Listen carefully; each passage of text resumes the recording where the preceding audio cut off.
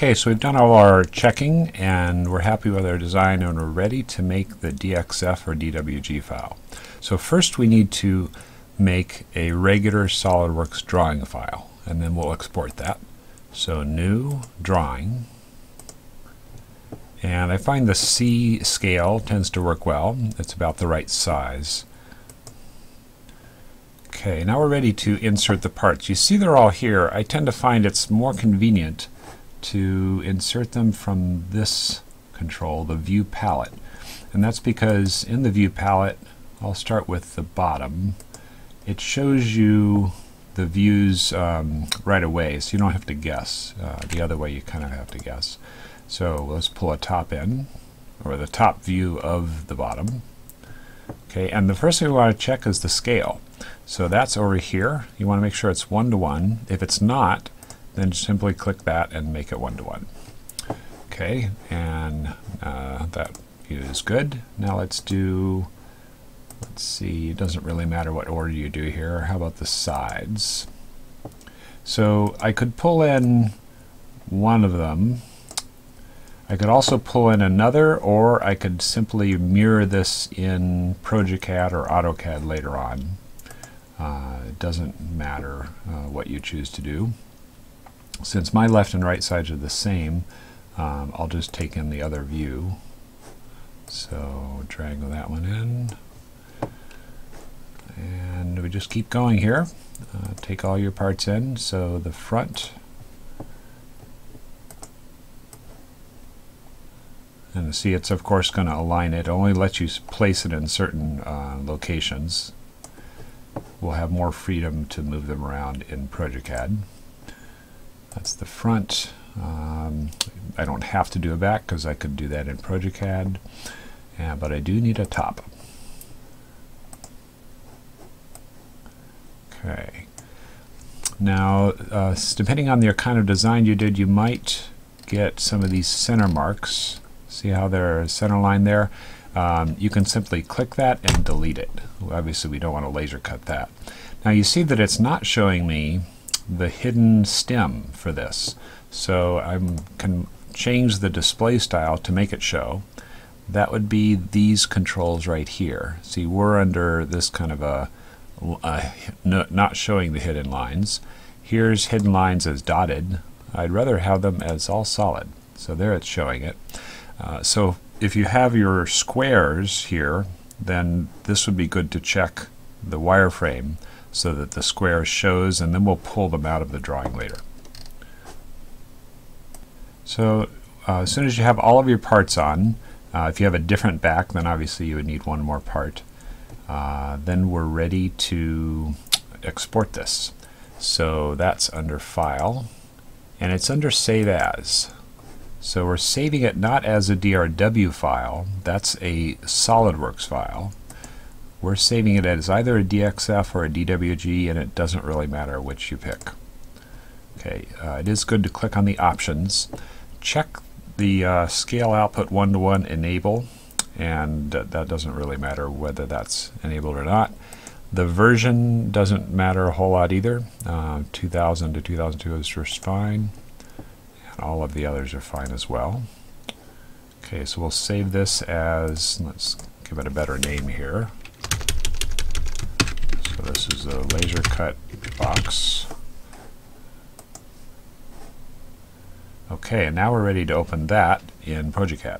So here it is in progeCAD, and we need to do a little cleanup and a little arranging. Uh, first thing is let's get rid of the um, drawing perimeter. We certainly don't need or want to laser cut that. Okay, now let's zoom in and uh, all of our lines that we want to be cut we'd like to make those red. So I'm going to make everything red, and then if, if I want to change something to an etch line, I'll do that now. Now, I want to be a little careful with these. So let's see. I would like to show where the stem needs to go. So I'm going to take both of these first, because those are going to be distinct parts. Cop I'm copying those, and now I'm going to paste those over here and then I'm going to move this part out of the way. Whoop. didn't want to do that. I forgot to unselect the middle. Okay, so I'm going to move that. Now I have a stem part. Oh, let's delete that. Uh, I have a stem part and a handle. And this I don't want to show at all. So, oh, and there's two of them. Uh, you may find that there are double lines, and um, when it when SolidWorks exported things, it might give a double line for certain features. Like when I click on this and I I'm hitting delete, and there's one still there, and that's because there's two of those lines, probably because it's apart. If I delete a third, second time, it's gone. Now I'm Control Zing to undo to get it back.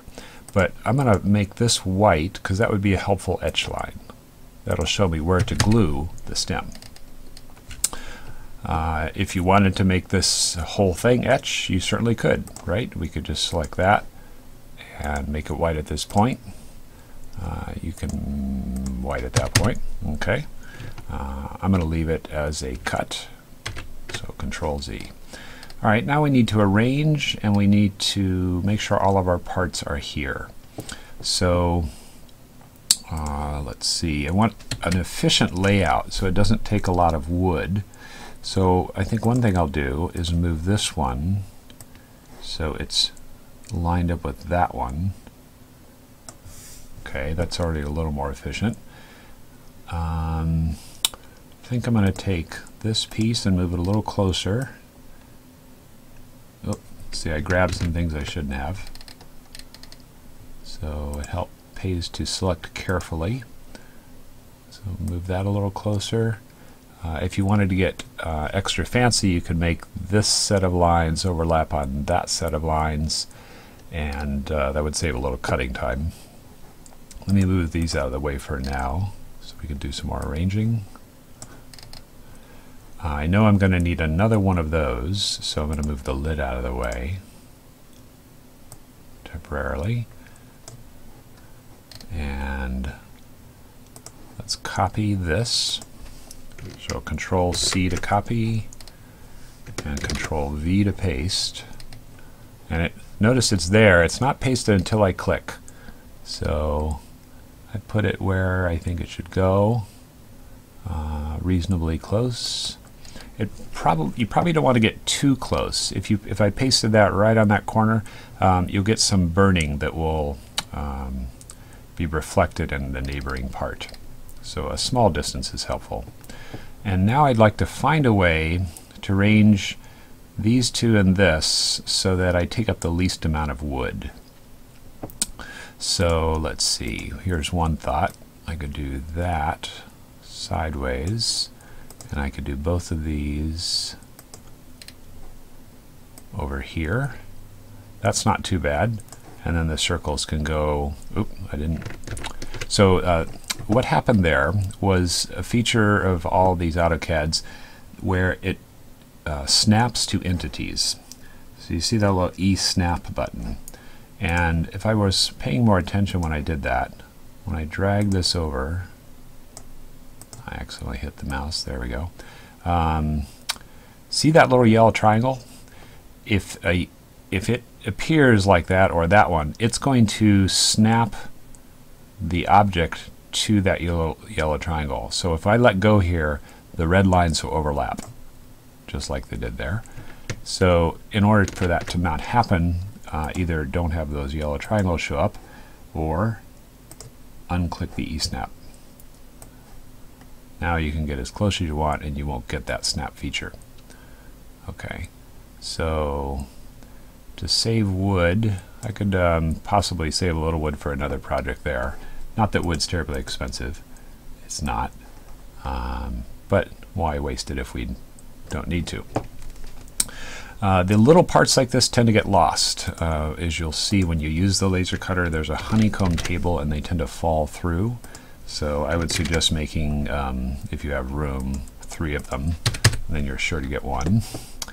And that's not too bad of a layout. I probably could optimize it more if I played around with orientations. Um, for example, I might try that rotated 90 degrees and then other arrangements of this. Um, but this is a perfectly acceptable layout. A few other things to modify before it goes to the laser. first is select all the lines, and this is the line width, 0.15 millimeters. The laser prefers to have all the lines at zero, and if they're thick, um, it can interpret them differently and um, go into a different mode. So it's best just to make them all zero. Okay. If there are any lines that are still left that might be overlapping each other, so there's a possibility it might have a spare, yep, there's two there and two there. So I'm hitting delete.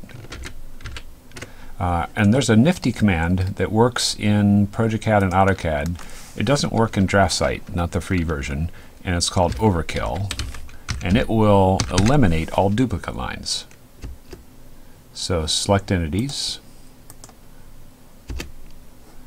And it's asking me what kind of control I want. I would assume the defaults are fine.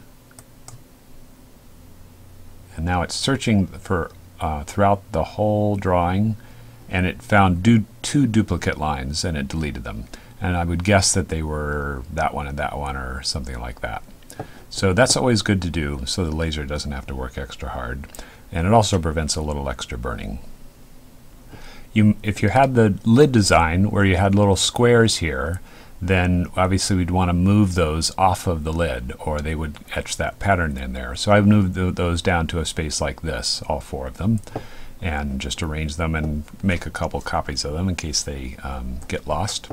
So in summary, the steps you want to do here are first uh, um, make everything red that you want to be cut, everything white that you want to be etched, uh, move things off of the lid in particular that uh, would not make sense to laser cut, such as the handle or the small feet.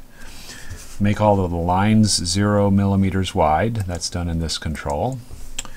Uh, use the overkill command down here to uh, eliminate any duplicate lines and then you should be ready for laser cutting. Okay, so we want to save this. Now the laser cutter currently, we're using an old version of AutoCAD, so it does need to be saved as an old version of um, DFX or DWG. So when we go File Save As, uh, we want to save as 2004 or older. And it doesn't matter whether it's DWG or DXF, but it has to be 2004 or older. So I'm going to do that and laser cut box DWG and that is ready for laser cutting.